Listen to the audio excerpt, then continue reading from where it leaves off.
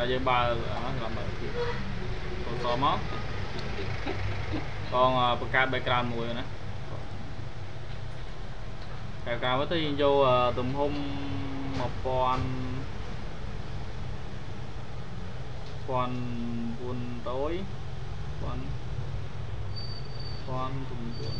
1200ហើយគុណនឹង1900 វាធំពេកអឺចង់គិតទំហំអានេះតឹង1200គុណនឹង1920ទំហំវាចឹងណាគិតជាភាសា1200គុណនឹង1920អឺវាឈរណារូបភាពគេវាឈរតោះអង្គប្រើ gradient tool ហ៎ gradient tool យើងលាយពណ៌ខៀវ ទឹកនេះពណ៌ខៀវណាយើងលាយពណ៌តាមចិត្តយើងទៅពណ៌ខ្មៅអរិយគេលាយពណ៌ខៀវចាស់មួយខៀវខ្ចីមួយបងលាយខៀវចាស់មួយមកខៀវខ្ចីមួយណាទៅចេះណាគឺចាំមកគឺខ្ចីមកអូខេអស់មកអស់មកមកពីលើមកក្រោមណា ហ្នឹងគឺមិនចំណត់លេបងលេខ្លួនឯងទៅបងហើយមើលឃើញប្រទេសក្តារនេះរូបភាពប្រទេសក្តារហ្នឹងមកបើរូបភាពចូលទៀតមករូបភាពផ្ទះកណ្ដាលចូលមកនេះហ៎ទៅពណ៌សមកណាហ្នឹងគឺរូបភាពស្រាប់យើងមិនមែនធ្វើណានៅរូបភាពស្រាប់ហើយយើងយកទៅដាក់ក្នុង background មួយទៀត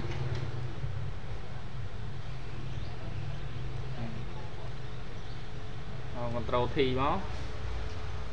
ទីវាពេញ background យើងមកហើយវែងណាចេះទេតោះត្រង់ plan demo លោកយកគេព្រេង hard line ត្រង់ plan demo មកយក hard line ឲ្យវាចូលនឹង C background យើងលាតោះយើងចូលដល់ការកាត់សក់ហើយយើងបើករូបភាពនឹងចូលទៀតទេ បាទការកាត់សក់ហ្នឹងវាមានរបៀបវាកាត់ហ្នឹងឥឡូវបងប្រើឧបករណ៍មួយឈ្មោះថា Quick Selection Tool ដាក់ជូនហ្នឹងបងនៅនៅទេឧបករណ៍ហ្នឹងសម្រាប់ផាត់ជារៀង selection ផាត់ជារៀង selection បាទហើយវាឆក់តាមពណ៌ទៀតឆក់តាមពណ៌ពេលយើងប្រើមកអាចប្រើមួយនឹងគ្នាបិទគ្នាបើ bridge room ទៀត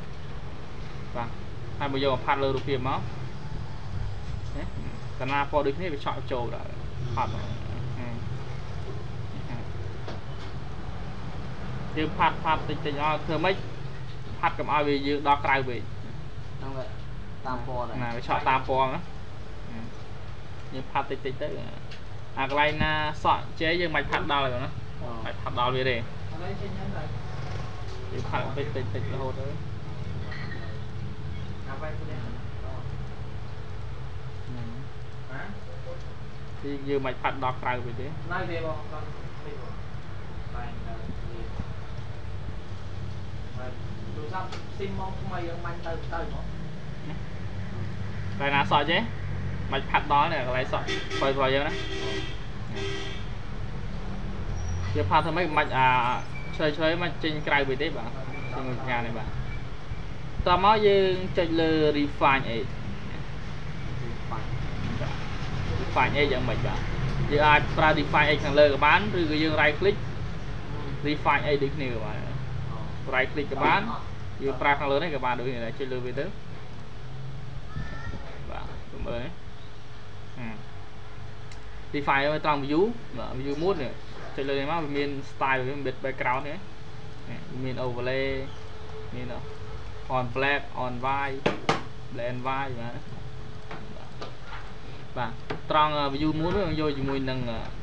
on black មកឲ្យស្រួលមើលអូខេអ្វីយើងកាត់បណ្ណាឃើញប៉ុណ្ណឹងបាទយើងកាត់បណ្ណាឃើញប៉ុណ្ណឹងបាទតើអង្គតិចលើ smart radius smart radius សម្រាប់ចាប់យកចំណុចខាងក្រៅដែលយើងផាត់អត់ដល់ណាយើងផាក់ដល់ដល់ចំណុចសរសៃសរសៃផាក់ដល់ដល់ Đi kịch chờ đây ណាមកចាំមើលទីមកទីរេឌីមកហេ វាបន្ថែមមកក្រៅហ៎ Ờ. វាបន្ថែមមកក្រៅរហូតដល់ប៉ុន្តែយើងកុំយកធំពេកហ៎ចូលមុំមុំមកប៉ុណ្ណេះទៅបាន56ទៅបានបាទតោះមើលត្រង់កន្លែងនេះឧបករណ៍នេះបាទក្នុងហ្នឹងវាមានពីរដូចជាប់មកវាមាន refine ready tool ហើយនិង error refinement tool បាទអានេះវាដូច brush ដែលយើងដែរបាទ refine ready tool បាទនឹងសម្រាប់ផាត់បន្ថែមអ្វីដែលយើងផាត់អត់ដល់ Cùng kia ពេលយើងប្រើ refine អឺ refine ready tool មកយើងយកផាត់កន្លែងណាដែលយើងផាត់អត់ដល់មកដូចតែប៉ុណ្ណេះផាត់ដល់ផាត់មក Thầy ណា Đã bạn ណាមកបាត់ហើយ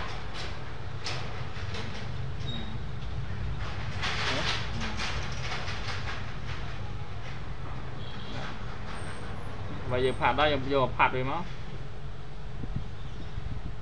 អត់អីបាត់ទេបងនៅតែសក់ណាតិចតិចហ្នឹងការកាត់សក់ដែរយកស Thầy ក់ tì bị lòng này ហ្នឹង Một số ចេះជាប់ផាត់ទៅទៅទៅទៀតប្រឡែងមកទៅវាបាត់ហើយ Ừ មកបាត់បាត់ Bắt ngồi bật ណាហ្នឹងដូចមកកាត់ដល់ខ្សែសក់ហ្នឹងសក់យើងមិនខ្សែមិនខ្សែហ្មងតាមថារូបត្រូវចេះអាហ្នឹងឯងបាទ ហើយកន្លែងណាទៀតនៅតំណែងអីសស Đấy chân យក Mình cắt cắt đấy ផាត់គីគីនឹងរហូតណា Ra rồi cắt đấy cắt đấy កន្លែងណាមានសក់មានអីកាត់ Bữa xuân lên đỉnh gục Nào ហ្នឹងដូចសក់ទៅនៅ cho trời ta ở bên stay nhưng mà bay ra hàng một បាទកន្លែងសអាចលុបបានហើយស anh cái bay cho nhau thì đây quay ra đây mà quay được năm hai ngày đi mà ngày một mà quay thì như là sắp ra này là bạn សអាចលុបបានហើយដល់ហ៎ហ្នឹង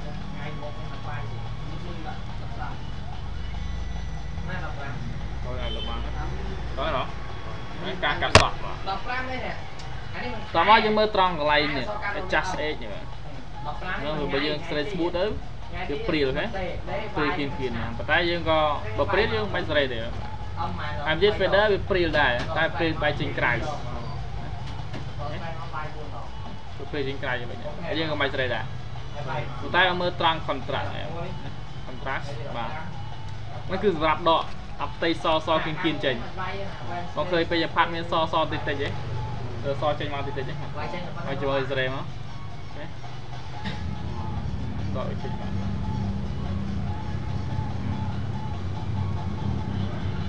ទៅបង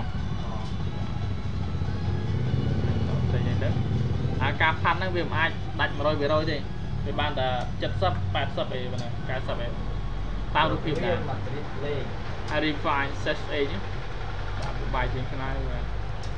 ជាងបាយយកស្រីយកសូននេះតោះត្រង់ output នេះ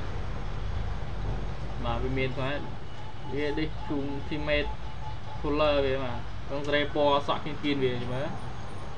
នេះនេះពណ៌វាគេពណ៌វាដូរហ្នឹងនេះអត់ស្រែពណ៌សក់ដូចសក់អីទៅបាទតែណាសក់ពណ៌សក់បាទបាទ output 2បាទយើងបញ្ចេញទៅក្រៅអីក្នុងហ្នឹងវាមានច្រើនទៀតវាមាន new layer ឬក៏ new layer with layer mask ឬក៏ new document នេះយកមួយណាបង new new layer ពេលយើងចុចទៅវាកើតជា layer ថ្មីមួយទៀតបាទប៉ុន្តែបើយើងយូរយូរ layer with layer មក ពេលយើងកាត់ពេលយើងដាក់វាទៅអូខេមកវាបានទាំង layer ថ្មីហើយមកម៉ាស់មួយទៀតបាទម៉ាស់ហ្នឹងសំខាន់យ៉ាងម៉េចបងម៉ាស់គឺសំខាន់ចាតែបន្ថែមវាហ៎ដូចបងឈោលើម៉ាស់ហ្នឹងណាឈោលើម៉ាស់មកយើងប្រើ brush tool brush tool ណាបាទដាក់យកសុះដល់ទៅហើយមើលពណ៌នេះផងពណ៌សពេលយើងផាត់មកណាបន្ថែមវានេះ ដល់កន្លែងណាដែលដាច់អាចបន្ថែមបានណាបាទហើយបន្ថែមបានបាទណា thay vì prơ prơ អត់ទេបន្ថែមមកវិញដូចអូខេនេះជាប់ទៅក្រោយយើងមកណាណាបាទនឹងសម្រាប់បន្ថែមផាត់មកបន្ថែមពីដើមវិញណាដែលផាប់បន្ថែមបាន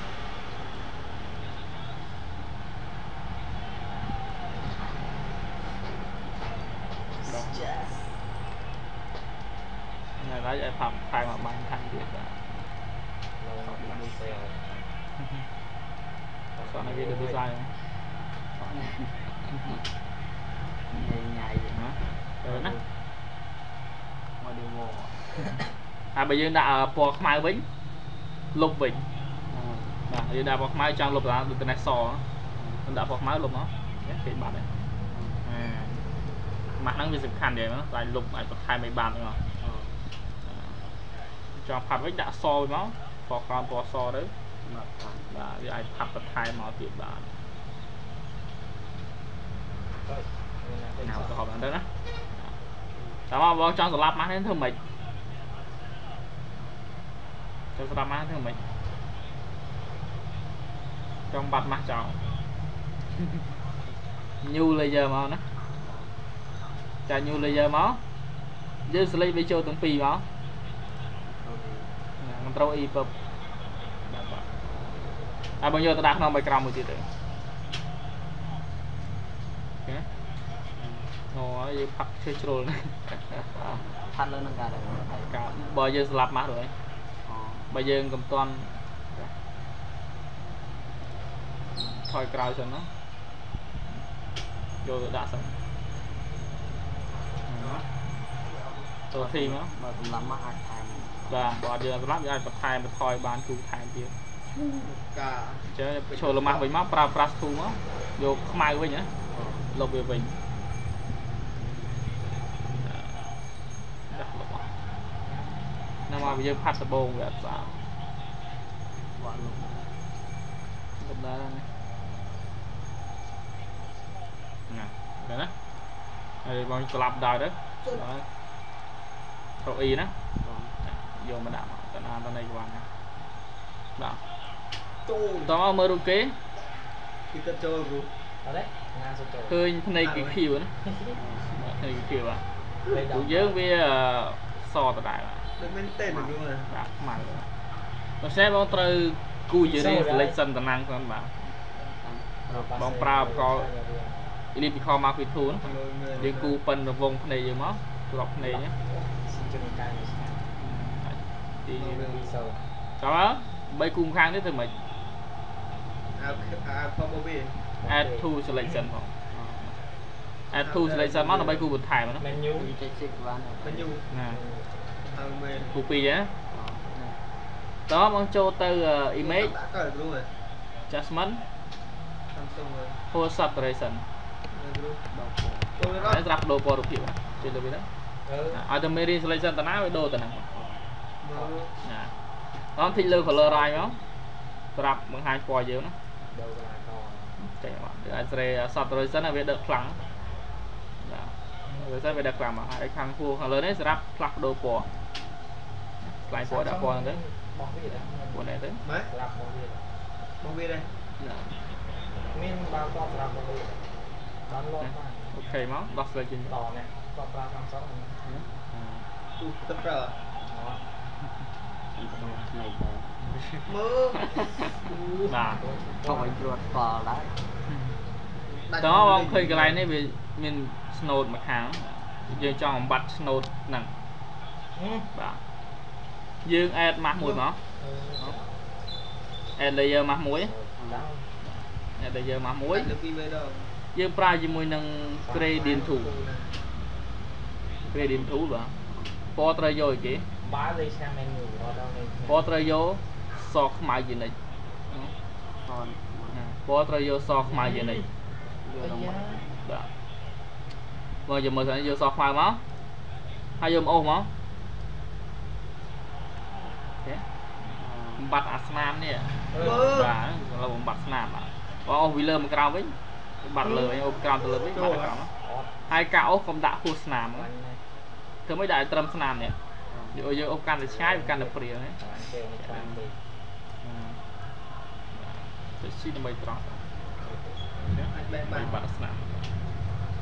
ណាចំបងប្រើតោះបើករូបភាពទឹកចូលមកវាមានរូបភាពទឹកឯទៀតណាណែទឹកហ្នឹងណាដល់ហើយដល់មកនេះគឺទឹកឯងបើកចូលមកតែរកមកធ្វើតែធ្វើមុនហ្នឹងមែនទេអត់ទេអានេះទឹក មែនតេនិយាយថតណាមានកម្មវិធីទៅទឹកផ្សេងទៀតណាបើយកទៅដាក់ក្នុង background មួយទៀតទៅអូលេងមិនបានណាធ្វើក្នុងមេរៀនធ្វើមិនចេញទឹកទេ không biết trên chắc không មកយកបណ្ដាណាហើយ control T មកបងទាញវាវេចឹងណា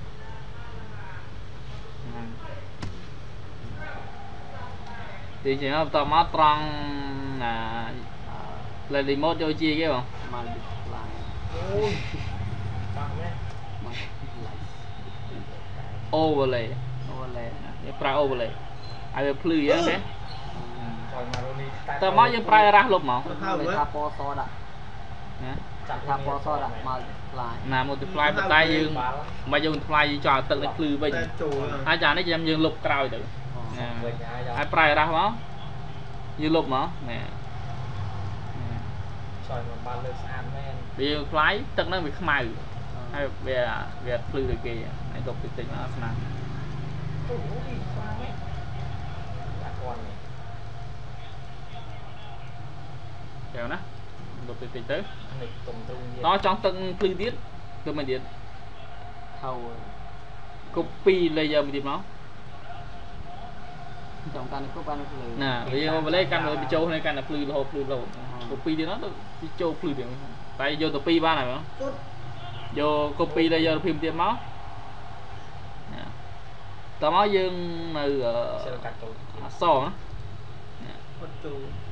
អក្សរដែលអក្សរដែលទឹកធ្វើមិនយ៉ាងចិត្តធ្វើហ៎ blue style style low style គឺ style nó đi style low តើបងសេអក្សរចូលមកបង សេមិនក៏បានដែរបានល្អមែនមកឆ្វេងបងយកអអក្សរពណ៌សណាសេមកដាច់ទៀតហ៎អូដាច់ទៀតអឺអាចដល់ blue style អាចដាក់ស្វាអីខ្ញុំមិនផងដូ font អីបានណា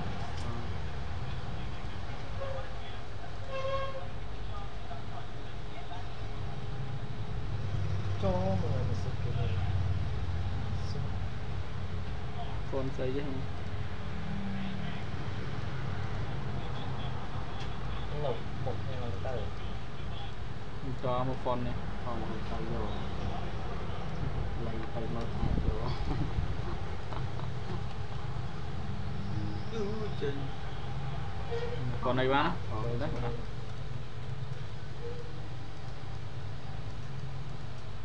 ដាក់រំដោចូលចែណា Ờ. តើមកយើងត្រូវកាត់នេះរុនដូអក្សរជា2ត្រូវការអក្សរជា2បាទយើងត្រូវ right click លើលេខអក្សរមកយកពាក្យថា rasterize ថាបំលែងវាសិនណាបាទ rasterize ផាយមកដល់ពណ៌ខុសគេហើយបងប្រាប់កជាមួយនឹង lasso tool បាទនឹងសម្រាប់កាត់បាទយើងគូតាមដៃមកយើងមកយកគូគូណាអឺឆាតតបានគូជើណា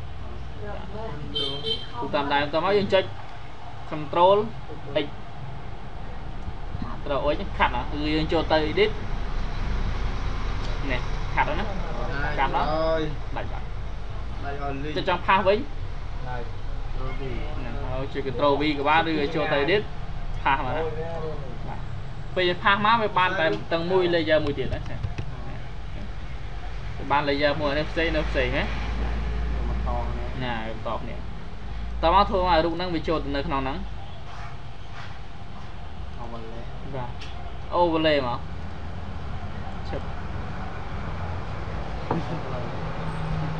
đúng mà chặt làm rồi đấy ចូលទៅណាសេវសាថ្មី cancel ចោលចែហ្មង này ទៅណែនៅត្រង់ adjustment layer យើងប្រើជាមួយនឹង code ទៀត còn lấy ដាក់ដាក់ឲ្យវារៀងភ្លឺតិចពីមួយណាពីវាភ្លឺមកចូលសេវចូលសេវ